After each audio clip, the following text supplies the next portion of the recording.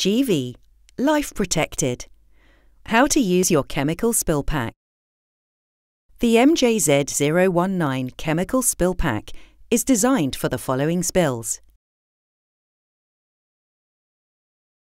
The GV Health Chemical Spill Pack is designed for fast containment and removal of a chemical spill, providing an accessible, easy to follow, and safe solution to ensure best practice and compliance for spill cleanup procedures providing all certified PPE and recommended absorbents in one place. Put on the apron or gown, gloves and mask visor provided. Prepare disposable bag to ensure easy access when disposing of spillage. Use the pad to absorb spillage, placing on the spill and dabbing the area, not scrubbing. Dispose of pad when spill has been absorbed. Use tweezers to remove broken glass. Please note, broken glass should be disposed of in a puncture-proof container and in accordance with local regulation to ensure safety. Use wipes provided to remove any residue from the surface. Wiping in an S-shape motion.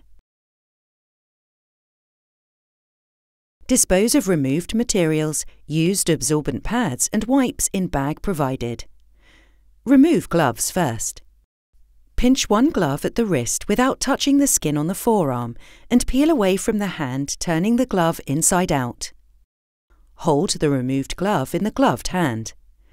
Hook the index and middle finger of the bare hand inside the remaining glove, taking care not to touch the outside of the glove. Pull off the glove, turning it inside out with the first glove inside. Dispose in bag provided. To remove apron, break the neck loop and waist straps. Avoid touching the outer surface of the apron with your hands. Roll the apron downwards from your chest so the contaminated outer surface is folded inwards. Dispose in bag provided. Remove mask visor. Use both hands to handle the straps by pulling away from face. Dispose in bag provided. Close bag ensuring you do not touch the inside. Tie a knot and place bag into appropriate waste stream in accordance with local regulations. Wash hands thoroughly. GV Life Protected